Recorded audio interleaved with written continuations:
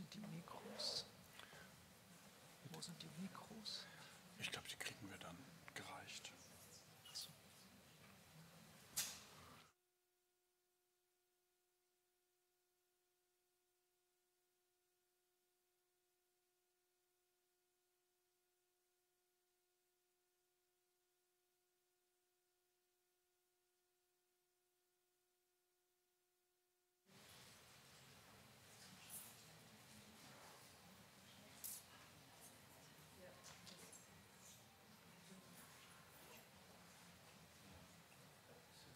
Schöner Raum.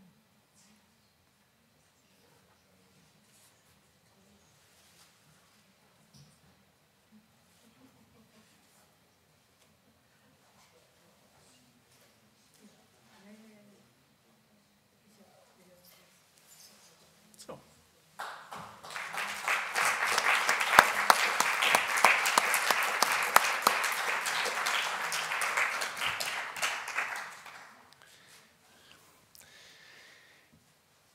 Ich freue mich, Sie in der Evangelischen Akademie in Frankfurt zu einer Dichterlesung begrüßen zu dürfen. Mein Name ist Bernd Hüpers und ich möchte Ihnen meine Freundin Petra Morsbach vorstellen. Wenn Sie Ihr neues Buch oder ein älteres Buch von ihr aufschlagen, steht dort, dass sie in München und in St. Petersburg studierte. Danach, so lesen wir, arbeitete sie zehn Jahre als Dramaturgin und Regisseurin. Dann gibt es ein paar knappe Informationen über den gegenwärtigen oder ältere Romane. Petra Morsbach ist promovierte Theaterwissenschaftlerin und es gibt eigentlich keinen Grund, das zu verheimlichen. Wenn man von der Universität kommt, wie ich es tue, kennt man eigentlich keine Menschen, die ohne jede akademische Eitelkeit sind. Menschen ohne diese Eitelkeit zu treffen, tut gut. Es kommt selten vor. Ich erwähne die Promotion, aber vor allem wegen der Dissertation. Sie verrät eine Menge über sie. Sie hat sie Anfang der 80er Jahre geschrieben. Es geht um die Kunstfreiheit in der Sowjetunion in den Jahren der Stagnation. Lässt sich das Theater komplett gleichschalten und um jede Kreativität und jede Widerständigkeit berauben? Nein. Petra Morsbach konnte mit ihrem Forschungsansatz die Lebendigkeit einiger ihrer Wurzeln nachweisen, indem sie die Aufführungspraxis der Stücke von Isaac Babel, einem Literaturrevolutionär, äh, untersuchte und äh, ähm, äh, ja, dem, dem Isaac Babel, der dem, dem Terror von Stalin ähm, zum Opfer gefallen ist. Ähm, sie konnte diese, diese Wurzeln untersuchen und ähm, die Kunstfreiheit über diese Art und Weise feststellen. Ähm, das ist groß gefühlt, aber konkret gedacht. Diesen Gedanken würde ich gerne festhalten, in der finstersten Brezhnev-Zeit so einen Ansatz zu verfolgen, diesen Glauben zu haben, dass die Kunst nicht totzukriegen ist. Nach dem Fall des Eisernen Vorhangs schrieb sie ihren ersten Roman, Anfang der 90er Jahre, Plötzlich ist es Abend. Die Biografie einer Russin, einer aus dem Volk. Diese authentische Lebensgeschichte verrät so viel mehr über Russland und seine Geschichte als viele hundert Zeitungsartikel, die man zu dieser Zeit in Deutschland gelesen hat. Schon da schafft sie es, über die Lebensenergie ihrer Protagonistin die erdrückende Schwere eines menschlichen Schicksals aufzuheben, es lesbar zu machen, so lesbar zu machen, dass man das Buch nicht mehr aus der Hand legen kann. Ich kann leider nicht zu allen Büchern etwas sagen, deswegen will ich einen Sprung machen zum Pferderoman oder der Geschichte mit Pferden, wie es heißt. Auch hier haben wir eine Heldin des Alltags, eine Köchin auf einem Reiterhof. Ich hatte das Glück, diese Heldin, die es wirklich gibt, in der Realität zu treffen. Das war für mich ein unvergessliches Erlebnis, eine Romanfigur plötzlich in der Realität zu treffen. Schon damals hatte ich viele Fragen an das Werk von Petra Mosbach und natürlich an Sie. Meine Hauptfrage war und ist, wie schafft sie es, die Wirklichkeit unverzerrt darzustellen, in ihrem Elend zu zeigen, in der Schwere und der Gemeinheit, ohne das auf den Leser abzuladen.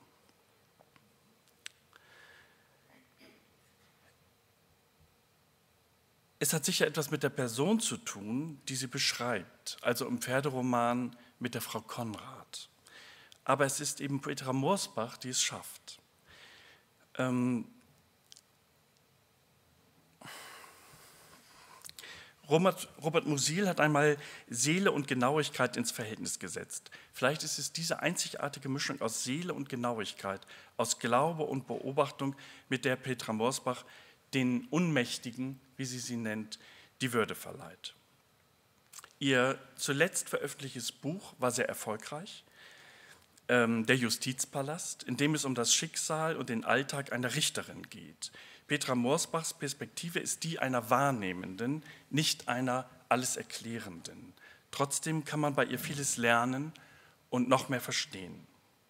Wir sind in unserem normalen Leben ziemlich gefangen und isoliert. Wenn wir keinen Pastor in der Familie haben oder Richterin oder Köchin oder Dichter oder Dichterin, haben wir keine Ahnung von deren Lebenswelt und ihren Zwängen. Petra Morsbach nimmt uns in, diese nahen und doch so verschlossenen Lebenswelten mit und man lässt sie sich gerne zeigen, weil sie alles in ein menschenfreundliches Licht tauchen kann, ohne die dunklen Seiten der Conditio Humana zu unterschlagen. Menschen mit Sinnfragen zu konfrontieren, ist heikel. In ihrem ersten Erzählband, Warum Fräulein Laura freundlich war, ging es um die Wahrheit des Erzählens.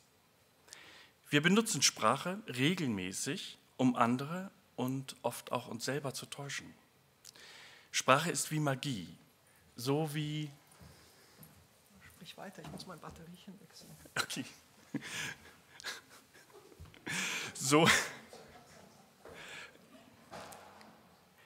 so wie es bei Harry Potter das Schulfach Verteidigung gegen die dunklen Künste gibt, so kann man lernen, Sprache gegen solche Verschleierungskunst einzusetzen.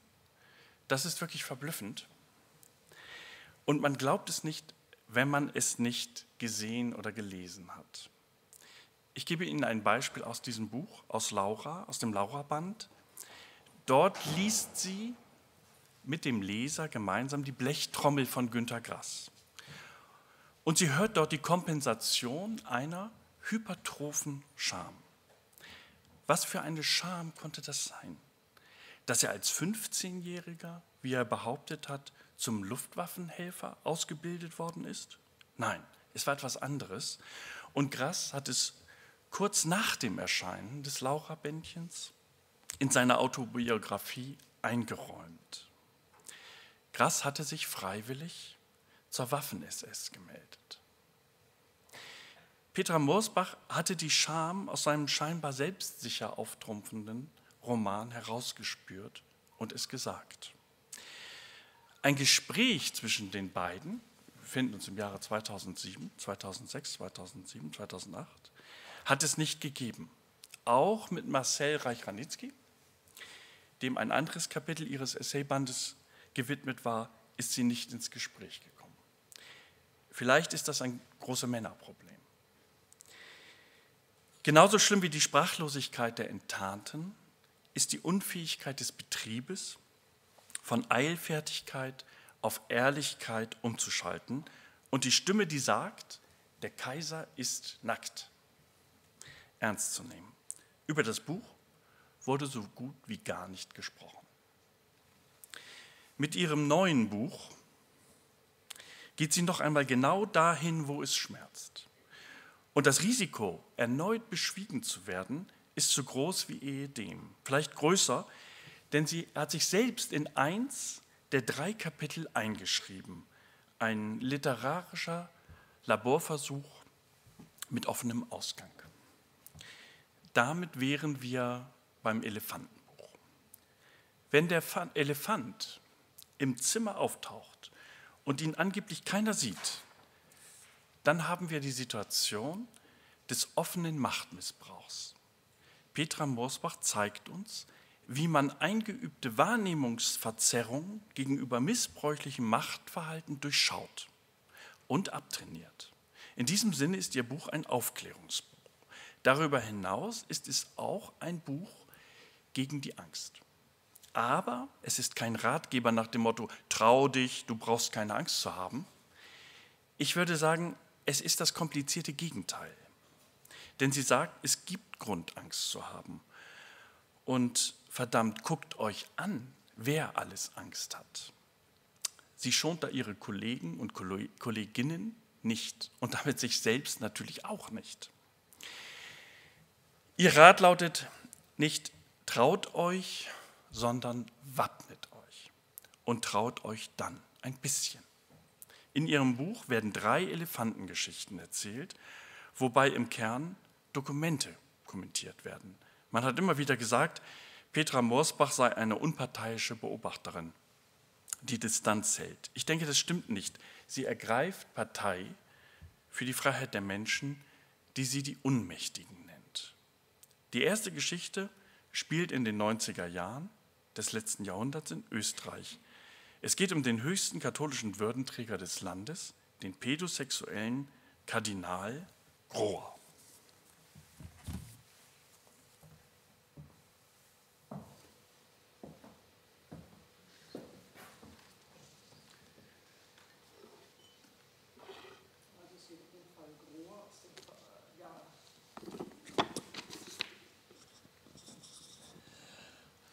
Hallo? Ja, es geht um den Fall Grohr, Österreich, Wien 1995. Ein Missbrauchsvorwurf. Kurze Vorbemerkung. Einige meiner katholischen Freunde sagen, sie könnten von sexuellem Missbrauch einfach nichts mehr hören. Wem es ebenso geht, der möge die nächsten zwei Seiten überspringen und auf Seite 29 weiterlesen. Nun der Paukenschlag. Im österreichischen Nachrichtenmagazin Profil erschien am 27. März 1995 ein Interview des Chefredakteurs Josef Fozzi mit Josef Hartmann, einem ehemaligen Zögling des erzbischöflichen Knabenseminars Hollerbrunn. Hartmann schilderte, wie der damalige Religionslehrer Hans-Hermann Grohr sich ihm als Beichtvater sexuell genähert hatte. Ich überspringe das jetzt tatsächlich.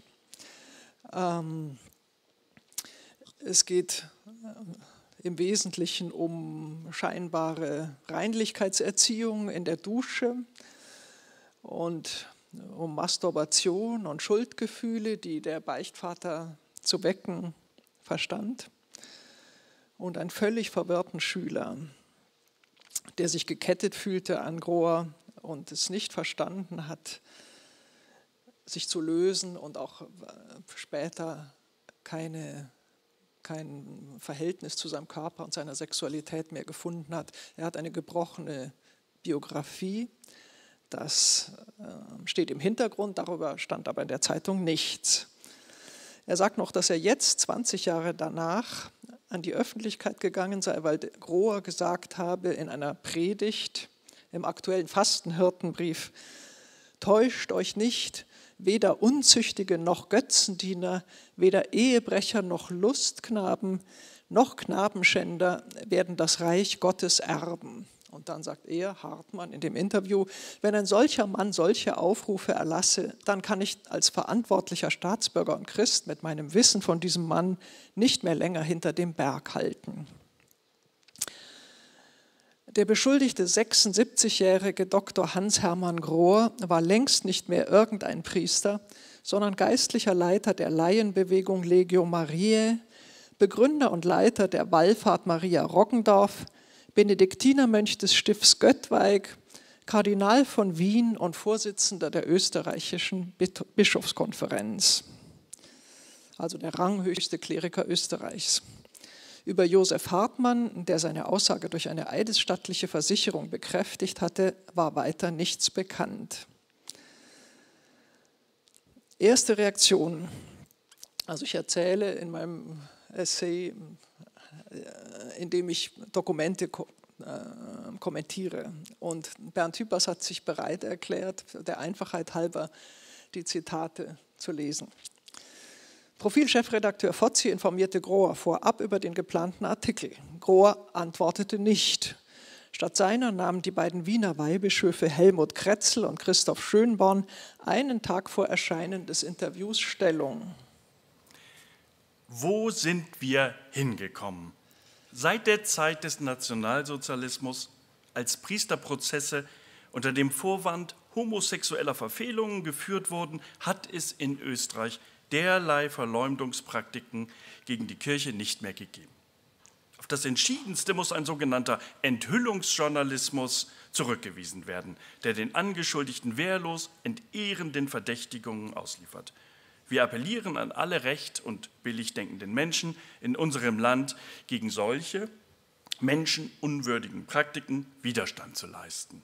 Es geht um die Würde eines Menschen, die Ehrfurcht vor seinem geistlichen Amt, und es geht nicht nur um die Kirche, sondern um Österreich.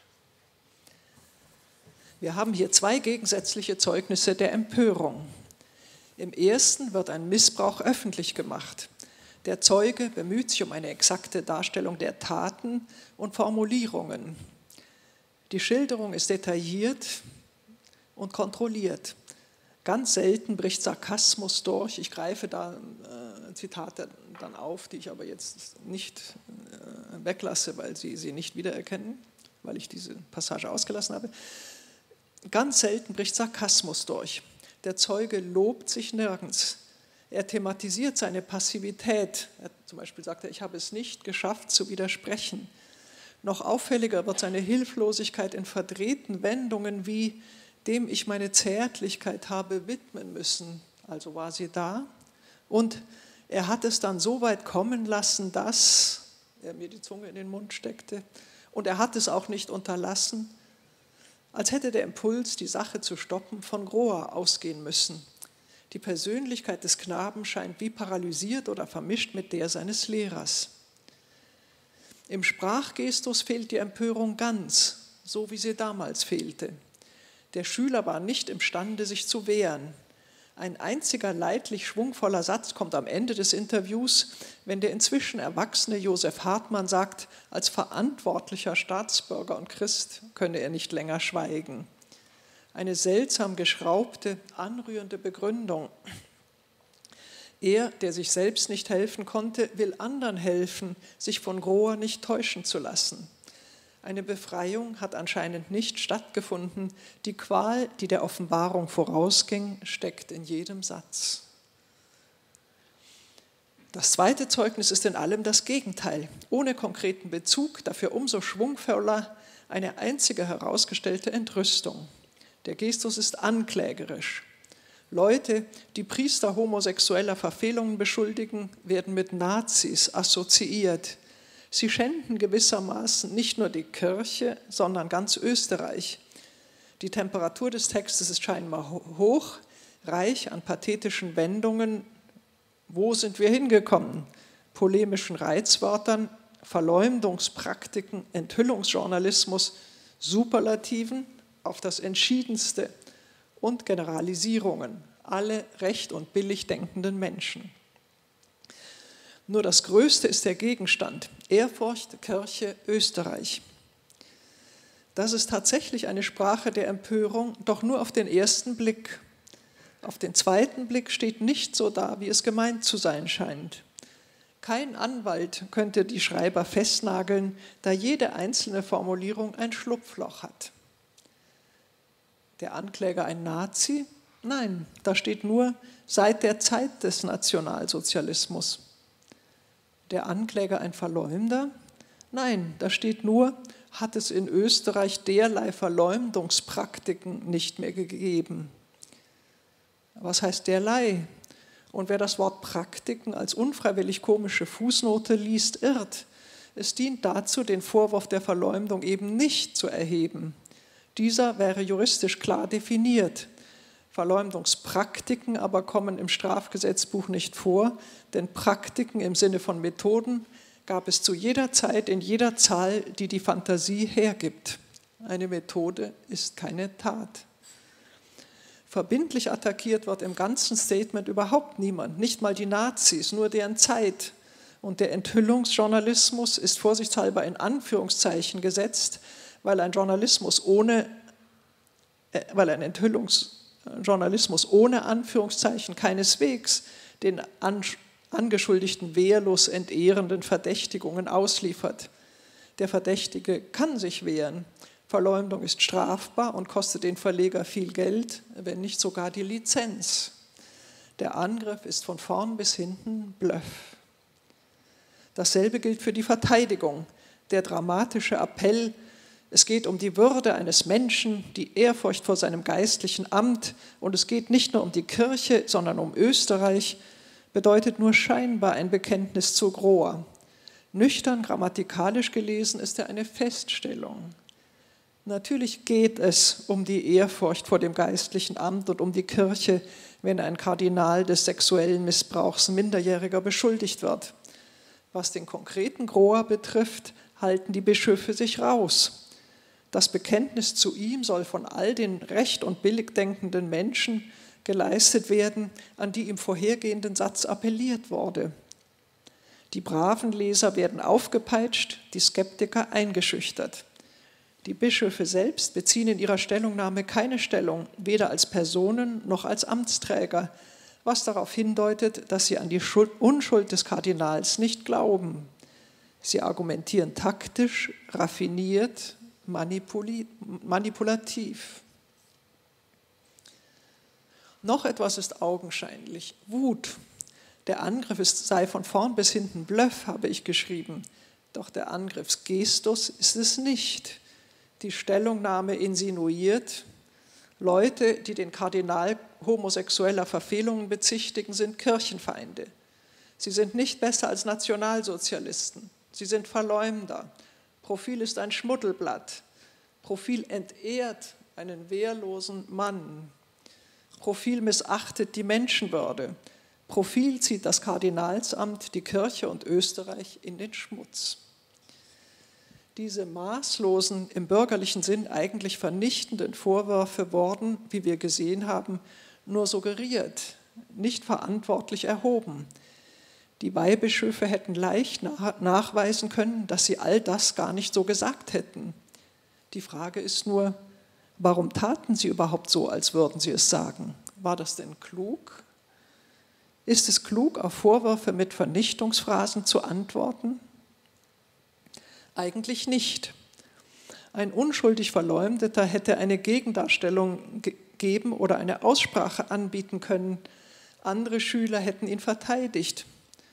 Das klerikale Protokoll ist vielleicht verzwickter, doch gewiss imstande, unberechtigte Vorwürfe in manierlichem Stil zurückzuweisen. Auch bei realer Schuld hätte es bessere Möglichkeiten gegeben. Die ehrliche Antwort, Vorwürfe prüfen, Schuld eingestehen, Missstände untersuchen, Abhilfe schaffen, System reformieren, ist einem dysfunktionalen Machtapparat nicht gegeben. Doch selbst für eine unehrliche Antwort gab es elegantere Optionen. Der Kardinal hätte seinen Rücktritt anbieten können, um Schaden von der Kirche abzuwenden, gekränkt, doch zu vornehm, um den armen Josef Hartmann bloßzustellen. Die Bischöfe hätten erstaunt und erschüttert die Vorwürfe zur Kenntnis nehmen und eine Untersuchung in Aussicht stellen können, um Zeit zu gewinnen. Dann hätten sie Fürsprecher gesucht, die Groas makellose Pädagogik bezeugen und vielleicht Psychiater, die Hartmanns Zerrüttung feststellten. Sie hätten differenziert, abwägend eine tragische Verstrickung mit Schuld auf beiden Seiten eingeräumt. Im allerschlimmsten Fall hätten sie die menschliche Fehlbarkeit beklagt und Besserung gelobt waren den Bischöfen diese Grundregeln modernen Krisenmanagements nicht bekannt? Meine These, ihre Selbstkontrolle versagte. Die maßlose, im Impetus vernichtende Reaktion deutet darauf hin, dass Hartmanns Vorwurf als maßloser, auf Vernichtung zielender Angriff empfunden wurde. Der Wutbrief. Wie verträgt sich eine rhetorisch und juristisch so exakt formulierte Stellungnahme mit einer solchen Vehemenz?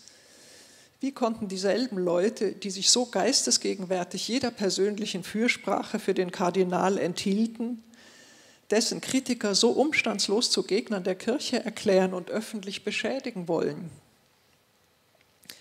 Es muss eine Stressreaktion gewesen sein. Niemand hatte mit Hartmanns Offenbarung gerechnet. Für ruhige Überlegung fehlte die Zeit. Stress kann höchste Geistesgegenwart erzeugen, also im wütenden Angriff noch eine überscharfe Wahrnehmung der Kräfteverhältnisse. Funktionäre, der Inquisitionszeit hätten im selben Affekt zu anderen Mitteln gegriffen.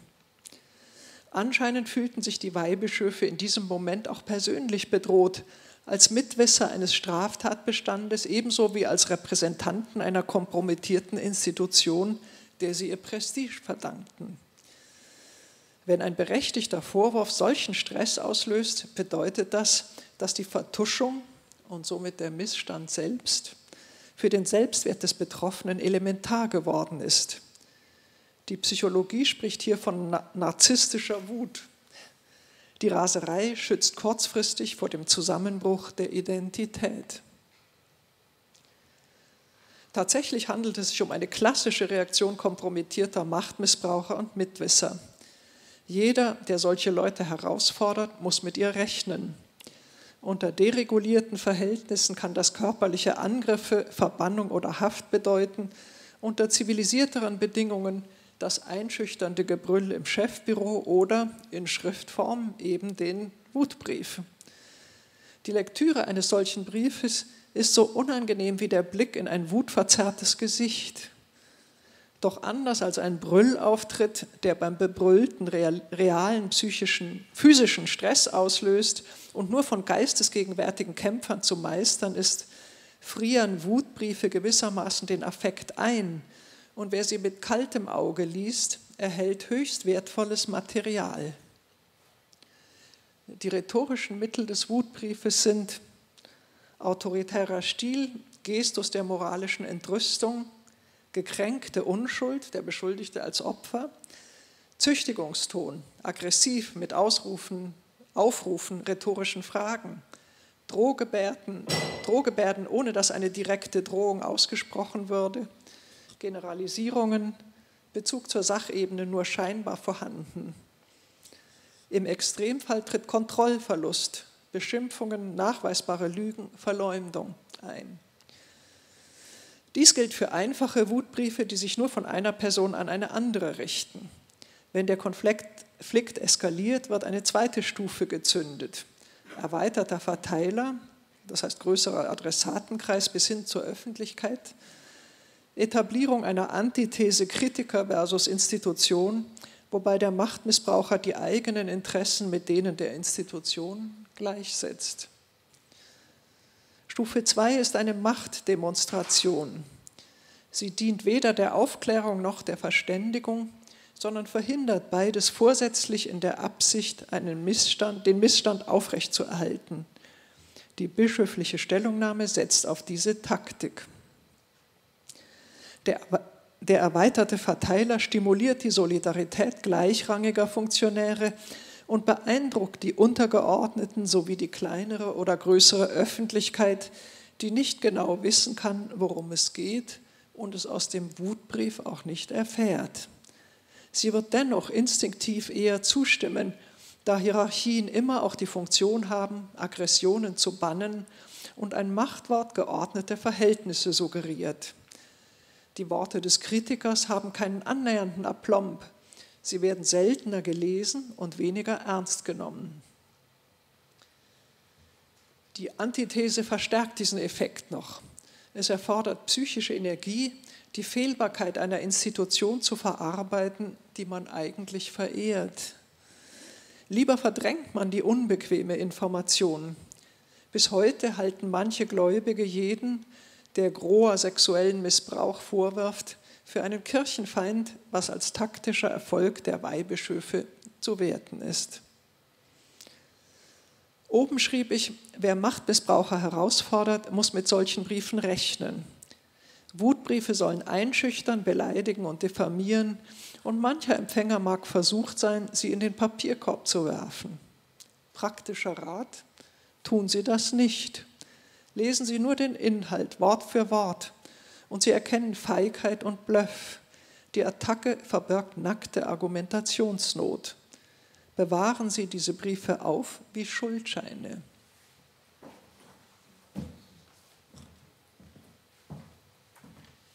So, wir haben jetzt ein erstes Beispiel für Sprachanalyse, um den Machtmissbrauch im Prinzip herauszupräparieren.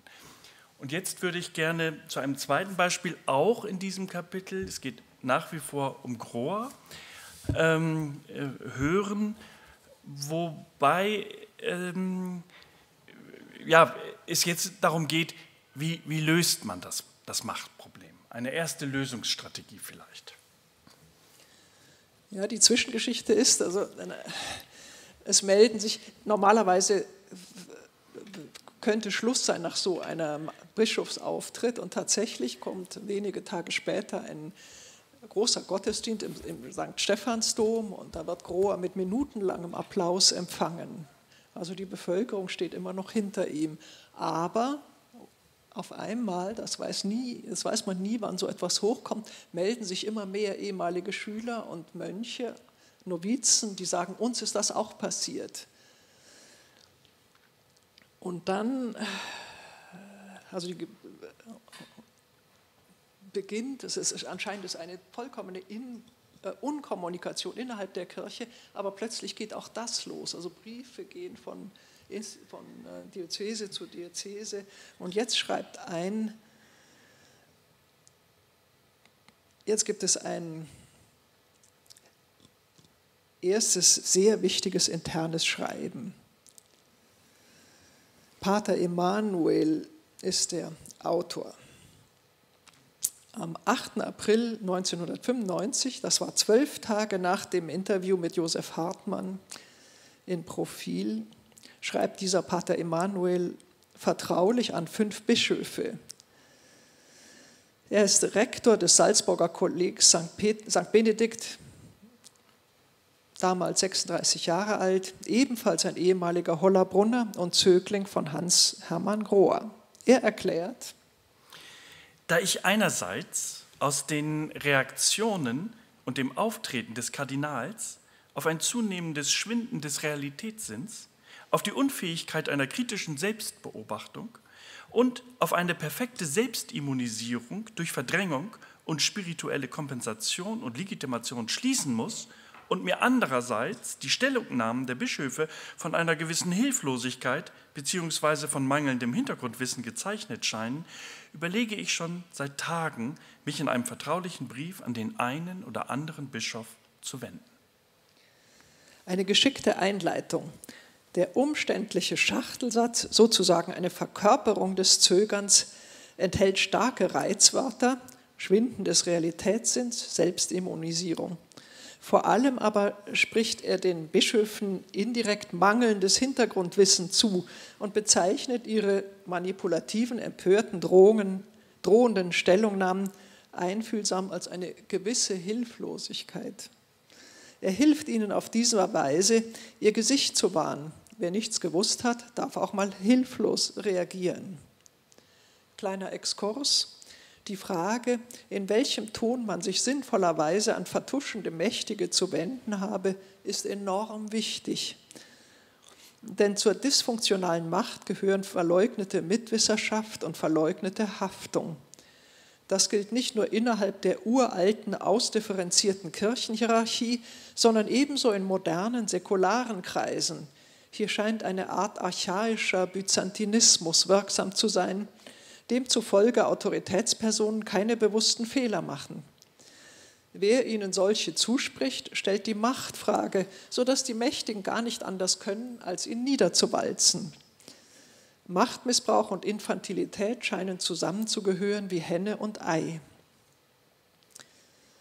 In Jahrtausenden wurde der freche Untertan zurechtgestutzt oder einen Kopf kürzer gemacht. Dieses Wissen steckt uns anscheinend in den Knochen. Ich möchte aber ein weiteres Mal daran erinnern, dass unsere demokratische Zivilisation ein vernünftiges Regelwerk etabliert hat, das Machtmissbrauchern nicht nur das Köpfen verbietet, sondern auch, jedenfalls theoretisch, den Missbrauch der Macht. Das bedeutet, derzeit rollen keine frechen Köpfe. Es kann nur wieder so werden, wenn wir zu wenige haben. Zurück zu Pater Emanuel, der in seinem Brief den richtigen Ton getroffen hat, ob als, aus Unschuld oder Diplomatie. Diesen Ton hält er durch. Der Duktus ist beschwichtigend. Grundsätzlich scheint es mir von großer Bedeutung zu sein, zwischen Homosexualität und Homophilie zu unterscheiden. Und es ist mir wichtig zu betonen, dass ich überzeugt bin, dass im Fall Grohr ausschließlich, nach all meinem Wissen, kein homosexuelles Vergehen im engeren Sinne vorliegt, sondern nur verschiedene Formen der Homo- bzw. Pädophilie. Auch das ist geschickt. Praktizierte Homosexualität wäre nach kirchlichen Begriffen ein Vergehen, doch inaktive Homophilie nicht. Ein zu direkter Angriff auf Kardinal Grohr wird somit vermieden.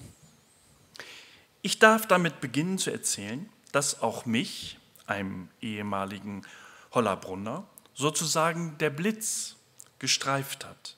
Das heißt, dass Grohr auch mir gegenüber öfters homophile Annäherungsversuche getätigt und mir einmal auch einen Zungenkuss auf den Mund gegeben hat. Das muss in der siebten oder achten Klasse gewesen sein. Mit dem Zungenkuss ist eigentlich, haben Sie es gemerkt, Zungenkuss auf den Mund, schreibt er. Mit dem Zungenkuss ist eigentlich die Grenze zur Sexualität überschritten, doch Pater Emanuel schafft es, auch weitere verbürgte pädo- und homosexuelle Übergriffe, von denen ihm Mitschüler und Mitbrüder erzählten, als das sind Zungenküsse oder durch Drängen erzwungene gegenseitige Massage, in Klammern splitternackt, unter Homophilie zu verbuchen. Das sprachliche Downgrade ermöglicht den Bischöfen, Groas Treiben nicht als Vergehen, das sie in Mithaftung nähme, zu erkennen. Pater Emanuels langer Bericht hat Züge einer bürokratischen Beichte. Dass er sich Groas Annäherungsversuchen widersetzte, habe ihm den Vorwurf eingebracht, eigensinnig zu sein. Deshalb sei er trotz großem Einsatz in der Legion Mariens nie von Groa protegiert werden, worden. Was ergibt sich, kann man sich fragen, aus dieser Bemerkung für die Protegierten? Damals litt ich darunter. Schon bald aber, während meiner Studienzeit in Salzburg, als ich langsam begann, die Strukturen zu durchschauen, war ich dankbar dafür und sah diese Benachteiligung als Gnade an. Kontakte zu Betroffenen hätten ihm geholfen, die Sache zunehmend klarer zu sehen, sodass das Phänomen Grohr und vor allem das Clanwesen seiner Anhängerschaft für mich immer deutlichere und eindeutigere psychologische Strukturen annahm. Schreibt er, Denkblockaden erzeugen Sprachblockaden. Eindeutigere psychologische Strukturen, das ist absolut nichtssagend, und doch spürt man den vorsichtigen Mönch um Erkenntnis ringen. Vor sechs, sieben Jahren wagte ich es erstmals, dieses Problem in persönlichem Gespräch mit vereinzelten Mitbrüdern anzuschneiden und erfuhr in allen Fällen eine Bestätigung des Verdachts. 1991 habe er dem Göttweiger Abt Clemens gegenüber die homophile Atmosphäre um Grohe herum und die damit, zusammenhängende Dialog, die damit zusammenhängenden Dialogprobleme innerhalb des Konvents zur Sprache gebracht. Abt Clemens beschwichtigte die Sache und betonte, dass dies ein sehr heikles Thema sei und in diesem Punkt sehr schnell jemand in Misskredit gebracht werden könne. Somit stand für mich ein weiteres offizielles Vorgehen nicht mehr zur Debatte. Aus Rücksicht auf die Kirche, vor allem auf mein Heimatkloster und nicht zuletzt auf meine persönliche Lebenssituation Habilitationsstadium und meine nicht ausreichend belastenden persönlichen Erfahrungen beschränkte ich mich darauf, im Freundeskreis und unter Betroffenen durch persönliche Gespräche das Bewusstsein für die pathologischen Bindungen und dergleichen zu schärfen. Pater Emanuel rechtfertigt sein Nichthandeln durch Loyalität zu Kirche und Heimatkloster, eine normale instinktive Reaktion. Interessanter sind die nicht ausreichend belastenden persönlichen Erfahrungen, eine pseudo-juristische Formulierung, die Objektivität suggeriert, während die Erfahrung selbst, der objektiv sehr wohl belastende Zungenkuss, nur privat als nicht ausreichend belastend eingestuft wird. Wir sehen ein sich windendes Gewissen. Nein, Pater Emanuel will sich nicht reinwaschen. Er erwähnt auch das Habilitationsstadium, also ein opportunistisches Motiv. Das müsste eigentlich Studium heißen. Ne? Dann folgt ein geradezu eruptiv kurzer, deutlicher Satz. Mit der Offenlegung Hartmanns hatte ich nicht mehr gerechnet. Und wie von einem Druck befreit fährt er fort, er müsse nach Lektüre des Profilinterviews jedem ganz ehrlich sagen, dass ich die Geschichte Hartmanns für authentisch halte. Seine Formulierungen werden jetzt schärfer von der zum Teil erschreckenden Abhängigkeit erwachsener Menschen vom Kardinal ist jetzt die Rede, dem Mauern seiner Anhänger gegenüber jeder Kritik an Groa, sektenähnlichen Verhaltensmustern und der Überlagerung natürlicher Interessen mit spirituellen Argumenten bei Groa. Dieser habe Abgefallene als bös Judas vom Satan befallen, abgekanzelt und menschlich verachtet.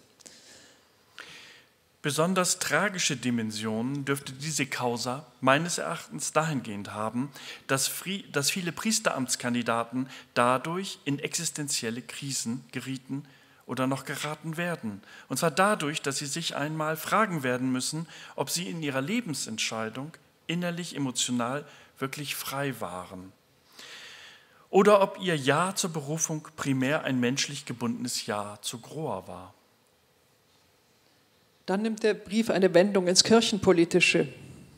Nicht zuletzt sehe ich in dieser ganzen Angelegenheit auch den Grund für die auffallend defensive Amtsführung Grohrs, der sich auch dort still verhielt, wo sein Wort als Kardinal von Wien gefragt worden wäre.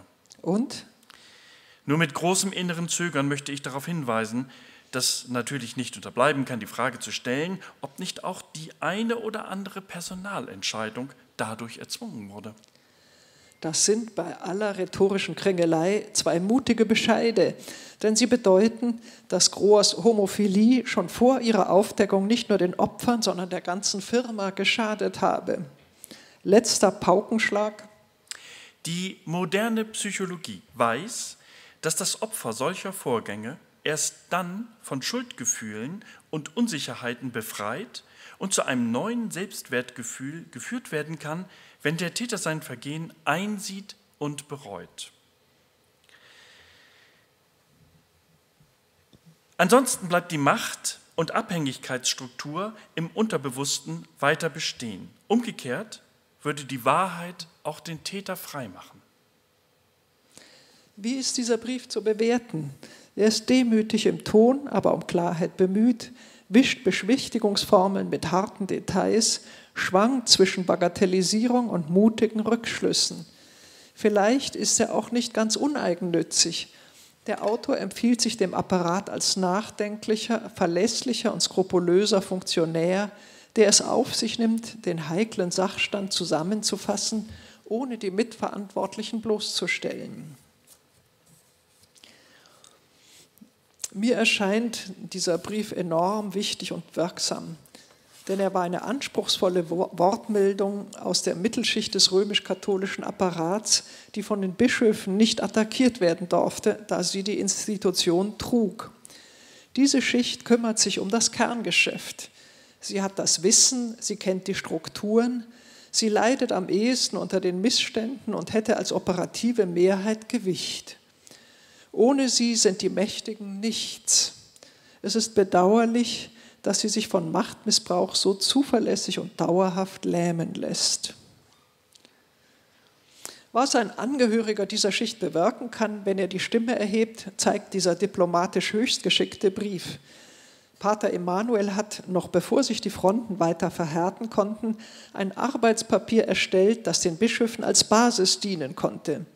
Sie wurden damit darin gewissermaßen schuldlos informiert und konnten Groas Treiben erkennen und kommunizieren, ohne es in den Mund nehmen zu müssen. Auch die kirchenpolitischen Folgerungen werden ihnen zu denken gegeben haben, nicht als Ziel, sondern als Warnhinweis denn nun änderten sie ihre Strategie.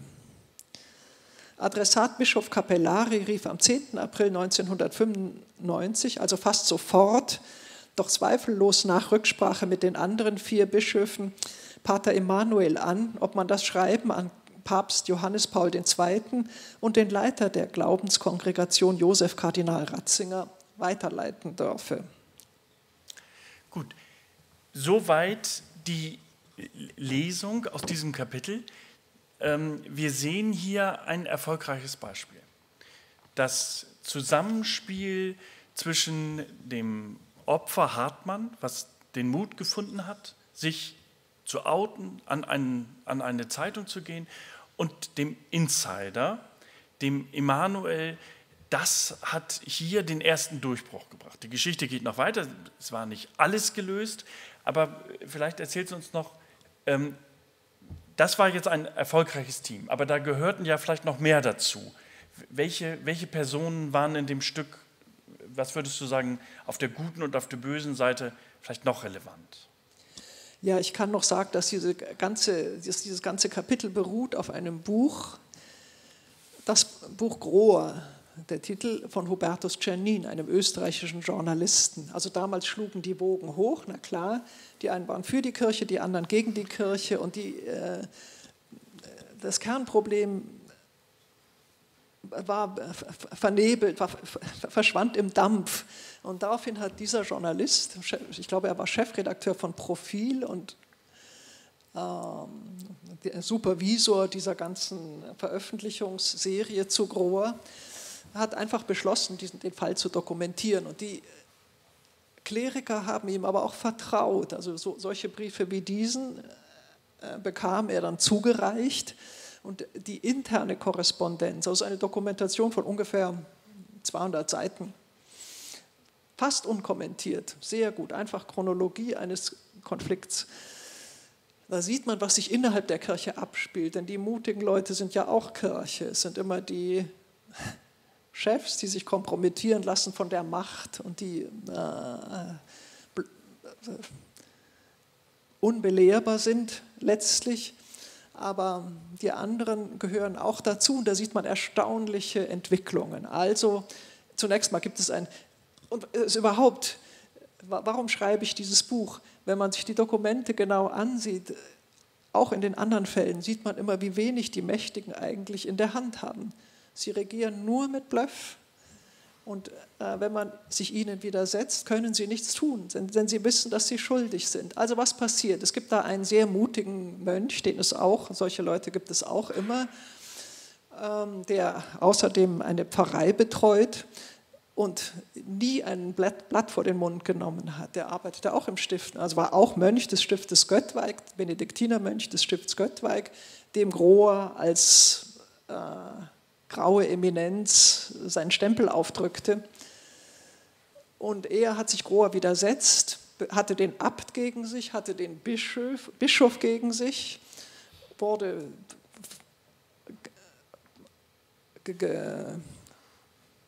gemaßregelt, bedroht auch mit Ausschluss aus dem Konvent, also bekam eisige Züchtigungsschreiben, die sind hier auch abgedruckt. abgedruckt. Das ist äh, man kommt aus dem Staunen nicht heraus. Und dann schließlich soll er tatsächlich aus dem Konvent entfernt werden und plötzlich finden sich Leute, die sich mit ihm solidarisieren. Seine ganze Gemeinde ähm, demonstriert für ihn und dann sind ein paar ausgetretene Mönche, die sehr gut formulieren können, vor allen Dingen einer, also ein paar ausgetretene Mönche des Stifts Göttweig, die auch gehadert haben mit diesen Verhältnissen, aber nichts ausrichten konnten und desillusioniert ausgestiegen sind, die schließen sich zusammen und suchen den Dialog und kümmern sich um die Verbreitung der Fakten. Und die äh, kommunizieren über diesen Pater Udo Fischer, hieß er, mit dem Bischof und äh, lassen ganz nebenbei die Bemerkung fallen, dieser Pater Udo bekomme viele Briefe von Missbrauchten, sodass die Kirche weiß, sie kann ihm eigentlich nichts tun. Und dann wird ein Trick gefunden, dass man ihn wieder einsetzt, ohne den Segen des populistischen Bischofs. Und eine noch dramatischere Geschichte betrifft den Prior dieses Klosters, der auch ein ehemals von Grohr missbrauchter äh, Novize war und dann aber den Weg weiterging in der Hierarchie und Prior war und sogar sich darum kümmert, den Grohr wieder einzusetzen. Also es ist eine komplexe Geschichte. Grohr wurde durch den großen öffentlichen Widerstand tatsächlich von seinem Posten entfernt. Also man brachte ihn dazu zu resignieren. Er kann ja nicht gekündigt werden. Das ist nicht, ähm, aber dann setzen die ihn wieder ein als Prior eines Klosters, das zu Göttweig, zu Göttweig gehört. Und plötzlich äh, sagt er, also das ist ein, ein, Tochterkloster. Und plötzlich sagt der Prior des Hauptklosters, das geht nicht. Und geht zu seinem Abt und sagt, wir können das nicht zulassen. Ich habe wieder was gehört, der hat sich schon wieder vergriffen. Wir müssen den, du musst mit ihm reden. Der Abt ist jemand, ein, der immer abwiegelt und immer so wie Pilatus sagt, er kann nichts dafür, er kann nichts tun. Äh, man muss die Dinge äh, delikat handhaben und so weiter. Jetzt schafft dieser durch und durch zerrissene Prior tatsächlich sich zu emanzipieren und sagt, er zieht sein Habit nicht mehr an, solange Grohr Prior des Ob äh, Tochterklosters ist. Und der abtraut sich immer noch nicht und sagt, dann fahr du. Und dann, äh, das ist einer der Höhepunkte des Buches, Grohr fährt tatsächlich, dieser junge Mann, der ist 38, fährt tatsächlich um seinen ehemaligen äh, Beichtvater Missbraucher, Vorgesetzten, immer noch Vorgesetzten, immer noch, immer noch Kardinal, der Rang wurde ihm nicht aberkannt, äh, um den zu konfrontieren. Und das ist das einzige Mal, also Grohe ist ja ein richtiger Betrüger, ein Hochstapler, der, dessen Rhetorik ist noch besser als die von diesen Bischöfen.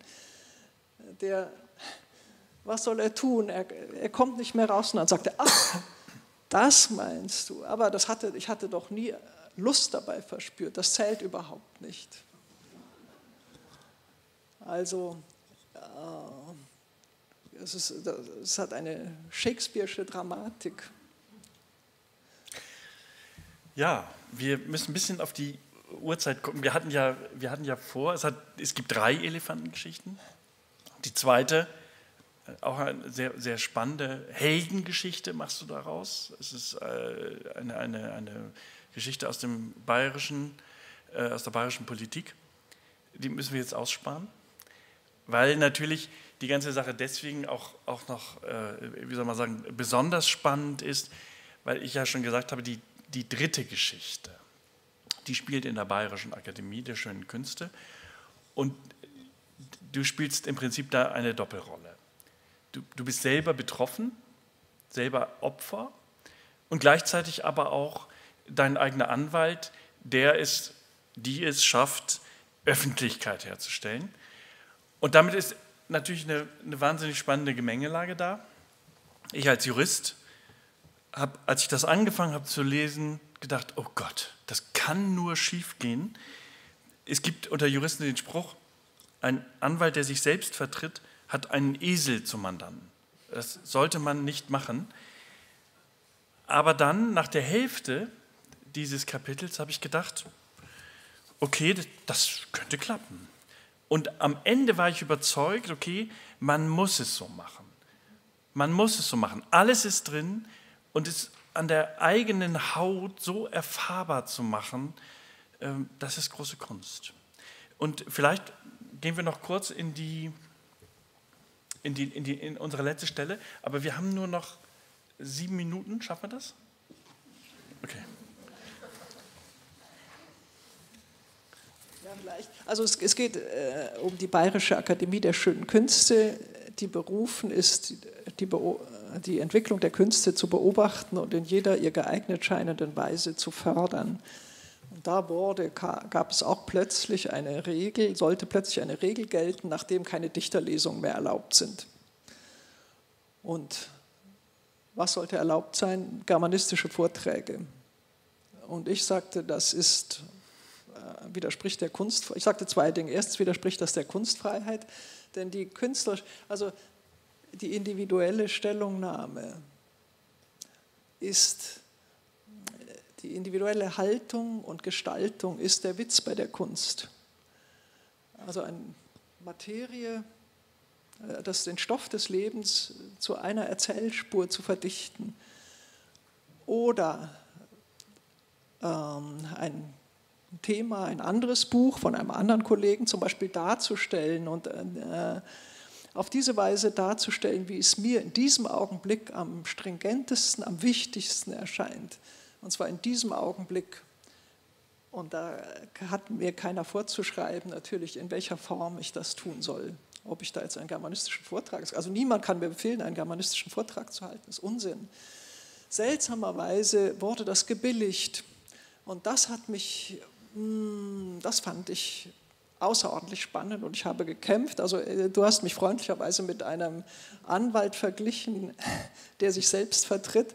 Ich war eigentlich keine Anwältin, sondern ich, habe, ich war eher eine Chronistin. Ich habe dann versuch, ich habe versucht, diese Regel abzuschaffen. Ich sagte, sie ist auch gar nicht reell beschlossen worden von der Klasse, sondern plötzlich hieß es, wir haben jetzt zu gehorchen. Warum haben wir zu gehorchen?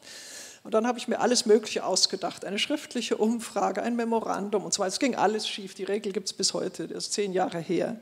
Aber es war so spannend und so verrückt und es gab auch so viel zu lachen. Alles kam wieder vor, die Wutbriefe und dass, ich, äh, dass es erkenntnisreich war. Und dann schreibe ich am Ende meines Kapitels darüber, den Stoff will ich jetzt nicht rekapitulieren, schreibe ich, ein kleines Kapitelchen, der Elefant in der Akademie. Was fügt die Akademiegeschichte meinen Ergebnissen aus den anderen Kapiteln hinzu? Ich hoffe, Aufschluss über die tiefe Hilflosigkeit unseres Bewusstseins im Umgang mit Macht.